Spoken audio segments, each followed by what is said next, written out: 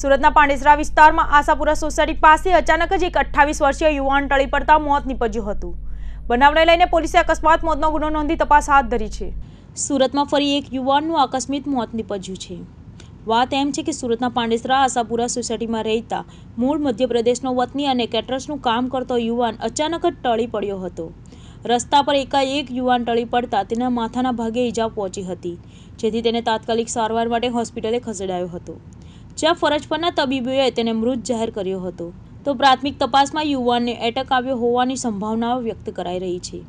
હાલ તો પોલીસે અકસ્માત, મોતનો ગુનો નોંધી વધુ તપાસ હાથ ધરી છે.